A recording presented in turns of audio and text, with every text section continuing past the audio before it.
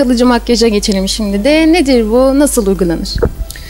Kalıcı makyaj e, yüzdeki kaş, göz, dudak olarak eğer kusur varsa yani kaşlar e, problemliyse e, iplik kullanımlarından biz mesela kaş alırken e, gördüğünüz gibi de e, şeyde videoda e, iplik kullanmadan çok ince cımbızlarla ve büyüteçle yüzün şekline göre kaş göz çünkü yüzün ifadesidir gerisi söz denir bizde o eskilerden kalma bir laftır ama e, çok doğrudur. Kaş yüzün anlamı ifadesidir.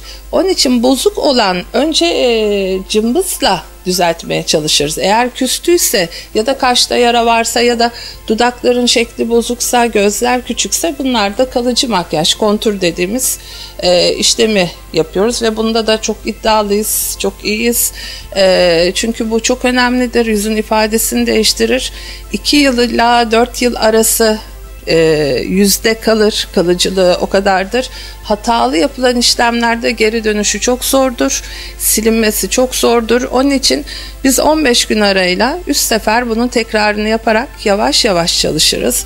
Kıl kıl çalışırız yani içini boyamayız kaşın. Kaş kılı hangi yöneyse o kıl yönünde çalışarak e, kaşa yeni bir şekil, yeni bir hacim, yüzün şekline uygun şekilde e, yeni bir kaş ve çok doğal olur. Doğallıktan yanayız. Hiçbir zaman için abartı işlemler yapmayız. İsteyen müşterilerimizi de ikna etmeye çalışırız. Yani onun yüzüne ne gidecek? Nasıl bir dudak gidecek? Dudaklar küçükse e, büyütür, büyütmeye çalışırız. Ee, çok büyükse onu toparlarız. Yani olması gereken neyse onu yapmaya çalışarak en güzelini e, çıkartırız.